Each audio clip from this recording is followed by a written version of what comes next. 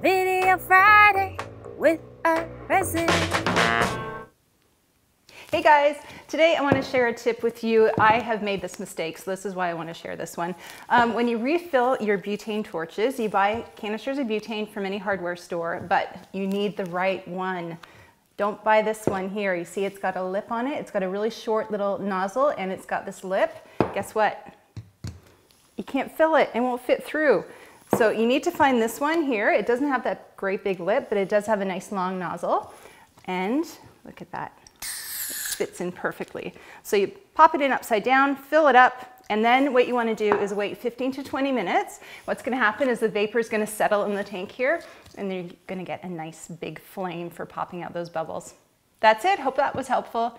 Video Friday with ArtResin. Okay, that's enough now. Ah, thank God that's over.